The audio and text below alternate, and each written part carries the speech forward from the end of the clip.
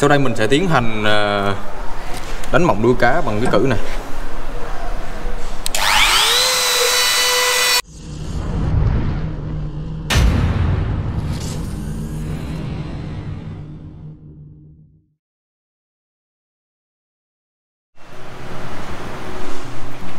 À, xin chào tất cả mọi người. Thì ờ, hôm nay, hôm nay bên mình sẽ giới thiệu cho mọi người cách uh, sử dụng cái cử uh, làm mỏng đuôi én và mình sẽ làm ra một cái sản phẩm ờ, được ứng dụng trên cái, cái mẫu ờ, uh, trên cử làm mỏng đuôi én để mọi người cùng tham khảo. Thì ờ, đầu tiên là mình sẽ nói về cái cử. Cái cử làm mỏng đuôi én thì nó sẽ gồm những cái bộ phận uh, khóa phôi. Đó như khóa phôi này. Rồi cái chính là sẽ có một cái cử bằng nhôm cử răng lược bằng nhôm để dẫn hướng cho mũi đuôi én thì à, cái khoảng cách này thì là loại này là loại à, 1 phần 2 inch là 12 ly 7 đó thì dùng cho mũi đuôi én có bi trên là 12 ly 7 thì cái bộ này có những cái à, cơ bản là khóa phôi mặt trên khóa phôi mặt dưới à, cử tăng chỉnh chiều dài của phôi sử dụng. Đó trên này là khóa phôi trên là sử dụng sử dụng hai con này. Tùy theo loại ván mỏng hay dài thì chúng ta sẽ chỉnh. À, mình sẽ ví dụ luôn là bây giờ là mình có cái tấm phôi à, này. Mình không biết là nó dài bao nhiêu, nhưng mà mình giả sử là một khi mình đặt lên đây. Đó, thì à, bây giờ mình sẽ xả cử ra này. Thì bây giờ thì tại nó hơi rộng, thì khi mình khóa lại thì không khóa được. Thì à, mình sẽ hướng dẫn các bạn cách mà lấy cái cử này là mình sẽ đặt nó như thế này. Mình sẽ vặn theo chiều kim đồng hồ. Đến khi mà nó tương đối nặng tay á thì mình sẽ dừng lại và để mình siết đó. Nếu mà các bạn thấy hơi nặng á, thì mình sẽ nới ra một xíu nữa. Để tránh tình trạng là cử nó bị uh, kích quá nhiều để ảnh hưởng tới hư hại cử. Đó như vậy là ok. Đó. Thì cái phần này là cái phần uh, cử mặt trên. Cử mặt dưới thì cũng tương tự là như thế này. Cử mặt dưới cũng tương tự. Tại vì các bạn cũng có hai con quay hai bên để khóa phôi. Rồi đó là cái ờ, phần chi tiết để giữ cái cái phôi. Cái thứ hai là cái cái cử để mình xác định cái vị trí đặt phôi khi mà mình thao tác. Thì ở đây là mặt trên nó sẽ có hai cái cử hai bên để chúng ta lật phôi bên này và lật phôi bên này. Cử dưới tương tự cũng có cử, hai cử hai bên. Thì sử dụng thao tác là bằng ờ, như bộ này là dùng cờ 12 thì có nghĩa là mình lấy cử thì mình sẽ kê miếng ván vào đây thì bước đầu tiên thì các bạn sẽ kê miếng ván cho nó bằng hai cạnh này này nó bằng cái mép ngòi này để mình biết là cái ván mình nó vuông góc với cái cử. Rồi sau đó thì mình sẽ nới cái này ra và mình tăng chỉnh tăng chỉnh. Thì uh, lưu ý thì mọi người là nên chỉnh làm sao cái cái, cái mặt này này cái mặt này thì sẽ là cái hộp thì sẽ có mặt trên cạnh mặt trên và cạnh mặt dưới. Thì những cái phần mà tự vào cử thì chính là cái cạnh mặt trên. Thì cạnh mặt trên thì mọi người lưu ý là sẽ mình sẽ để cho cái ờ, máy ván này nó nằm lệch về phía ngoài gần hết cái này. Tốt nhất là để ở tim. Thì để khi mà mình đánh á, thì cái phần mí đầu tiên của cái cái mặt trên cái hộp nó vẫn còn giữ được cái ờ, phần gỗ của đuôi én thì nó không bị bể mẻ và là làm cho cái thẩm mỹ mặt trên được tốt hơn. Thì tương tự bên này cũng như vậy.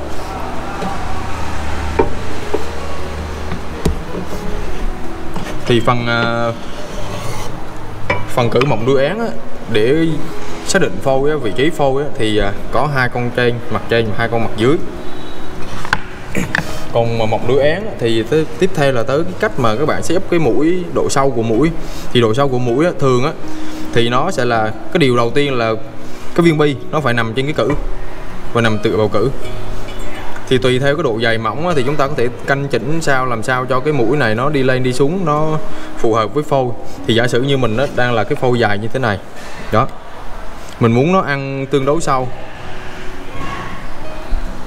Thì hiện tại cái phần này của mình đó, thì có khoảng cách là từ mép bi tới mặt cử nó sẽ bằng độ dày của cái à, cái tấm cử cử nhôm. Thì để trực quan hơn thì bây giờ mình mình sẽ hướng dẫn các bạn như thế này giả sử đây là cái hộp mình gồm bốn tấm bốn tấm ván. Thì uh, mình sẽ chọn mặt này cái cạnh này bốn cạnh này. Sẽ là cạnh của mặt chay cạnh mặt chay có nghĩa là như này là, là mặt chính. Thì những cái vị trí mình đánh dấu này á, thì mình sẽ dựa vào mặt cử. Đó mình nếu mình xoay bên này mình cũng sẽ dựa vào mặt cử. Thứ hai á, thì mỏng đuôi én thì khi mình đánh ra thì nó sẽ ra là một cái dạng à, liên kết như thế này. Gồm phần âm và phần dương. Thì mình bây giờ mình chọn phần dài này này là phần dương. Phần dương á, ở phần âm. Phần âm thì chúng ta sẽ để trên ở mặt trên. Thì nó sẽ ra một cái mỏng âm như thế này. Còn phần dương mình sẽ để ở dưới là mặt đứng thì mình sẽ chọn cái phần ngắn là làm à, mặt âm. Rồi bây giờ mình sẽ thao tác để các bạn à, cùng cùng nắm. Đó, đầu tiên là mình sẽ chọn dấu x này. Dấu x là mặt mặt chính của mình. Mình sẽ đặt vào đây.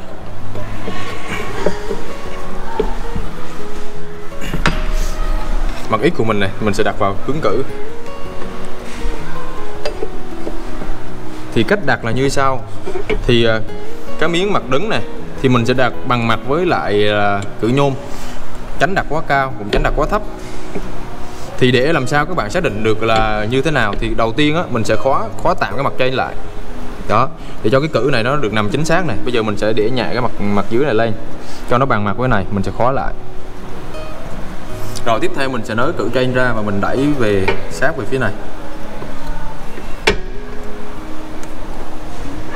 Rồi thì mình kiểm tra lại là mình thấy nó có một sai số nhỏ thì bây giờ mình sẽ, sẽ canh lại cái phần này. Để làm sao mà cái cái hai cái mép này nó bằng nhau này đó cái bí này nó bằng nhau này thì khi mình liên kết nó sẽ kín kẽ hơn. Rồi. Sau đây mình sẽ tiến hành ờ, đánh mộng đuôi cá bằng cái cử này.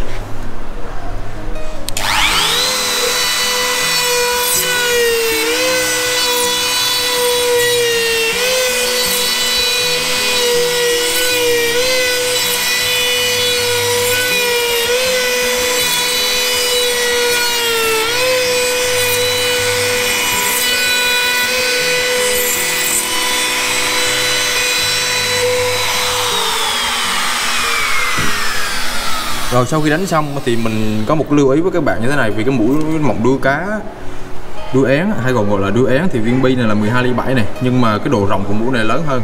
Thì như các bạn thấy này, thì lưu ý khi các bạn đánh thì các bạn sẽ đưa từ ngoài vào trong, và khi kết thúc thì các bạn sẽ lấy máy hẳn ra ngoài rồi mới dỡ lên. Tránh tình trạng là nếu như các bạn đang đánh như thế này này, máy vẫn còn chạy thì các bạn dỡ lên, thì nó sẽ sẽ ăn vào cái cử. Đó, thì các bạn lưu ý là cái mũi này nó lớn hơn là cái cái rãnh cử thì tương tự á, thì mình à, bây giờ mình sẽ làm tới cạnh tiếp theo. Thì mình sẽ để cái mặt x này vào mặt cử.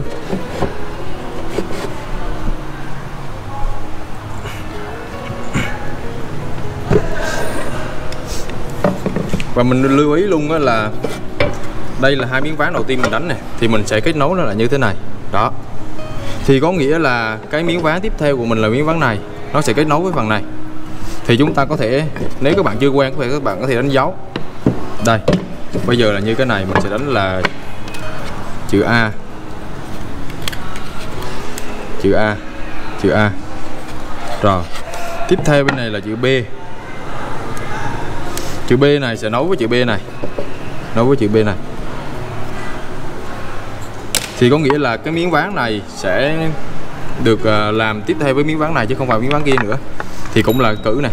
Dấu x mình sẽ đưa vào mặt cử. Dấu x này mình sẽ đưa vào mặt cử.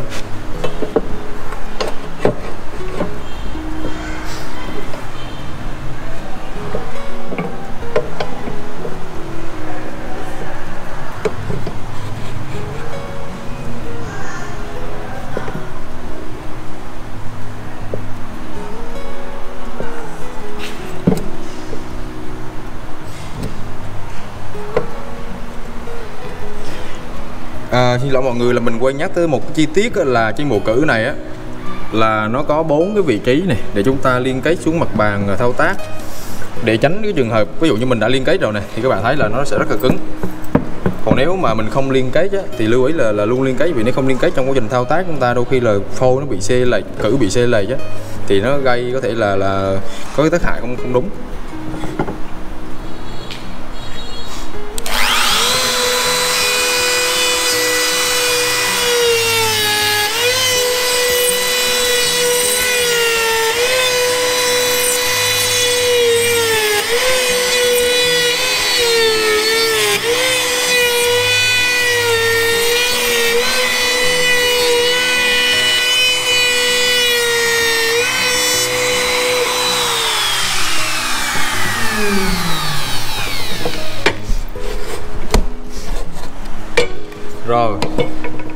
Sau khi mình đã làm hai cái cạnh A với B á, thì bây giờ mình sẽ làm tới cạnh này là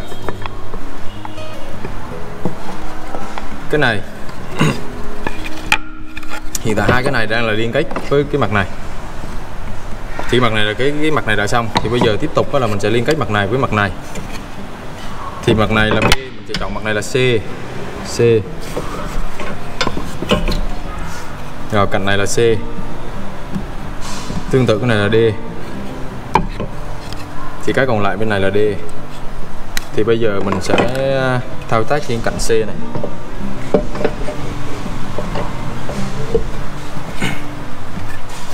Cạnh C này dấu X này. Dấu X là mặt chay này mình sẽ đưa sát vào cử.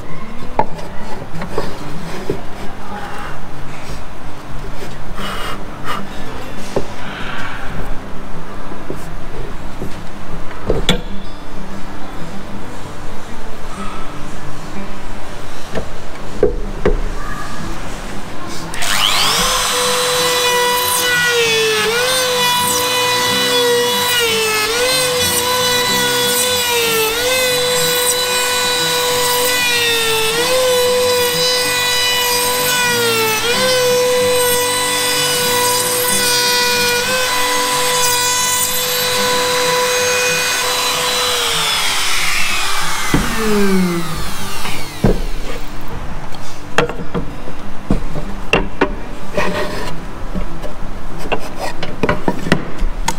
tiếp theo mình sẽ làm mặt D Mặt D mình sẽ dựa sát vào cử.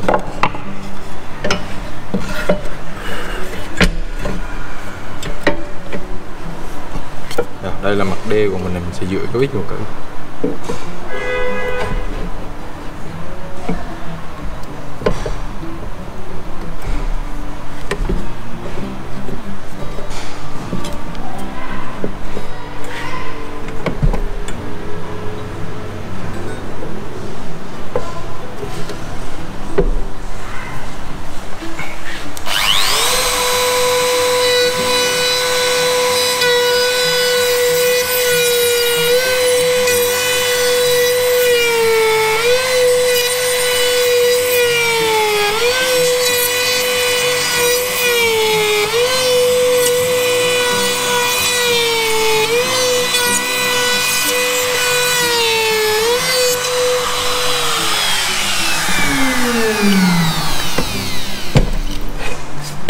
Rồi mình đã vừa hoàn thành cái thao tác mà đánh mỏng đuôi cá trên bộ của cử hỗ trợ. Thì bây giờ mình sẽ mở cái cái cử này ra đây. Đó, như anh em thấy này, ở đây này, có một vị trí liên kết này.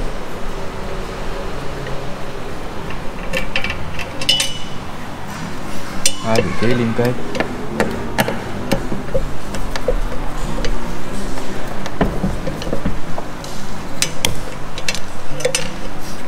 Ba vị trí liên kết. Và bốn vị trí liên kết.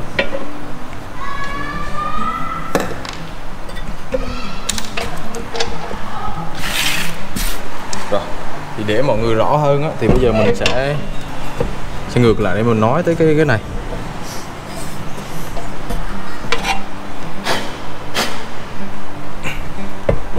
Đây chính là cái cử này cái cử chặn uh, gỗ gỗ đứng và cái chữ gần gỗ nằm. Thì cái cái khoảng cách mép này với mép này là các bạn có thể xếp là bằng nhau. Hoặc nếu mà chính xác hơn á, thì cái khoảng cách ngoài của cử và khoảng cách này nó là 12 ly 7 tương đương với 1 phần 2 inch. Đó thì các bạn lưu ý này. Đó phần này mép ngoài này là mép chặn của cử dưới và mép này, là mép tràn của cửa trên, thì nó có khoảng cách khoảng tầm 12 ly 7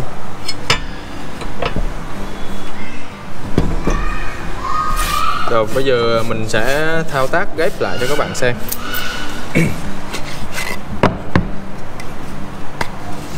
Bây giờ mình có A A và A.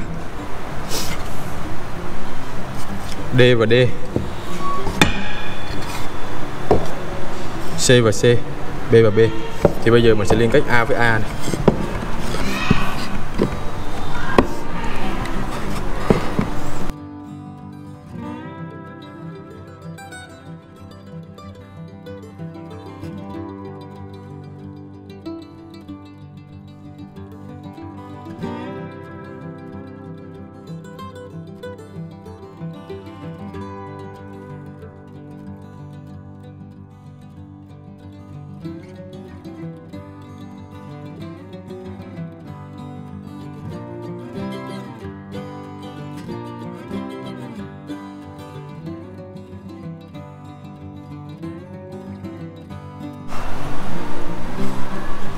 Ờ, ok mình ờ, vừa ờ, liên kết xong cái hộp gỗ này mình sẽ chỉ cho anh em vài cái điểm lưu ý này. Cái đầu tiên á, là như anh em thấy bên này này đó thì cái độ kín kẽ độ khít rất là tốt. Nhưng mà tuy nhiên á, là gỗ thì khi cái sớ này là cái sớ sớ dọc này nó rất dễ bị xé. Thì anh em lưu ý là khi mình ép cảo vậy mình ép đều tay. Ví dụ như bên này mình ép hơi lố này là nó bể nó nó bể liền. Thì anh em lưu ý là ép đều tay để cho cái mỏng khi nó mỏng ôm và nó ôm được chính xác chứ tránh tình trạng nó bị vây nó bị vây là bên này nó lọt và bên kia nó không lọt thì nó sẽ mắc cái mí nó bị xé. Đó như bên này là ok đẹp như bên này là hơi lỗi này đó thì anh em lưu ý là đừng có để mà không bể cái mỏng hay nó xấu. Đó thì như mặt mặt chính đó, thì sau khi mà xong xuôi thì có thể là mình sẽ làm nguội lại hai cái mặt này để cho nó đạt cái độ ờ, đẹp được độ mướt độ chính xác được tốt hơn. Đó thì mình sẽ đưa cái mộng rời nhỏ ra cho anh em dễ hình dung. Đó. thì cái nguyên nguyên tắc của cái mộng đuôi én á đuôi cá hoặc là đuôi én tùy vùng miền gọi á, thì là ni nguyên tắc ni li kết như thế này. Thì nó gồm một phần mộng dương một mộng âm. Thì khi mà mình đóng vào đây tức là sẽ có chiều chiều khóa này chiều khóa là chiều ấn vào. Thì khi mình khóa vào lại á, thì cái phần này, này phần côn nó sẽ giúp cho cái việc cái hộp nó không bị rỉ ra được nó không rỉ ra được. Đó ví dụ như mình sẽ thử là mình đó mình chỉ mới gá vào thôi này nhưng mà không thể gỡ ra được. Đó thì đó là cái cái cái à, ưu điểm của mộng đuôi én. Với lại mộng đuôi én thì thường được ứng dụng là giả sử như một số các bạn là muốn làm cái mộng mà mộng lộ á thì cái này á, khi mà mình lên màu hoặc là mình hoàn sơ hoàn thiện thì nó sẽ có cái tương phản giữa cái đầu này này gọi là đầu ngang này đầu cắt ngang thì nó sẽ lên màu khác với cái mặt gỗ. Thì nó sẽ tạo được cái hiệu ứng đối lập giữa hai cái này. Thì đó cũng là một những cái ứng dụng mà, mà anh em hay dùng mộng đuôi én ok cảm ơn đã mọi người đã theo dõi.